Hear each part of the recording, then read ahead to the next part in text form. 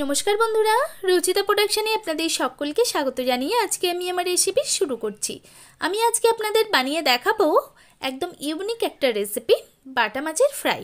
তোপসে fry তো আমরা সবসময়ই খেয়ে থাকি, কিন্তু মার্কেটে তোপসে মাছ কিন্তু অ্যাভেলেবেল থাকে না।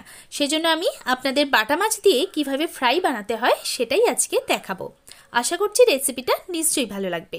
সব থেকে প্রথমে কিছু বাটা মাছ নিয়ে নিয়েছি। আমি বারো থেকে তেরোটা মতো বাটা মাছকে খুব ভালো করে কেটে ধুয়ে জল ঝরিয়ে রেখেছি।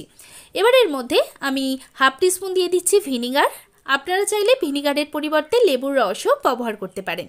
দিয়ে দিচ্ছি হাফ টিস্পুন রসুন বাটা আর ওয়ান ফোর্থ টিস্পুন আদা বাটা। দিয়ে দিচ্ছি স্বাদ মতো নুন আর দিয়ে দেব হাফ টিস্পুন গোলমরিচের গুঁড়ো। এবার খুব ভালোভাবে এটাকে মিশিয়ে নেব। আর লেবুর রস বা ভিনিগার কিন্তু অবশ্যই দেবেন। এতে করে আঁশটে যে একটা কাঁচা গন্ধ থাকে মাছে, সেটা চলে যাবে।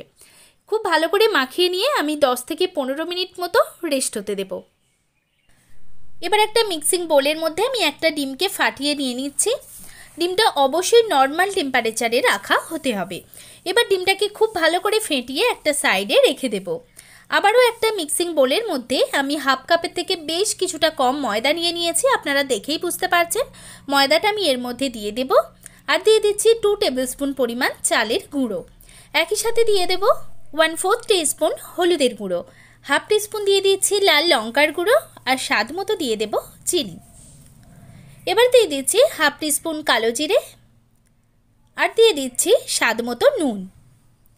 এবার আমি ওয়ান টেবিল স্পুন বাটারকে খুব ভালো করে গরম করে গলিয়ে এর মধ্যে দিয়ে খুব ভালো করে মিশিয়ে নিলাম। আর দিয়ে দিচ্ছি একদম এক পিঞ্চ মতো খাবার সোডা। দিয়ে খুব ভালোভাবে মিশিয়ে নিয়েছি।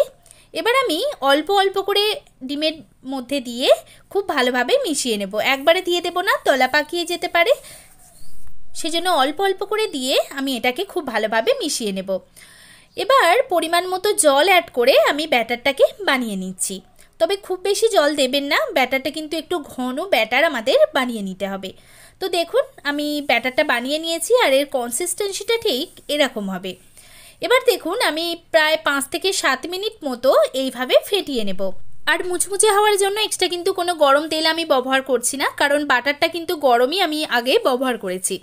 এবার দেখুন, আমি সরাসরি ভাজতে চলে যাচ্ছি। একটা কড়াইয়ের মধ্যে বেশ কিছুটা রিফাইন্ড অয়েলকে খুব ভালো করে গরম করে নিয়ে একটা একটা করে মাছ আমি এই ব্যাটারের মধ্যে এইভাবে মাখিয়ে সরাসরি তেলের মধ্যে দিয়ে দিচ্ছি।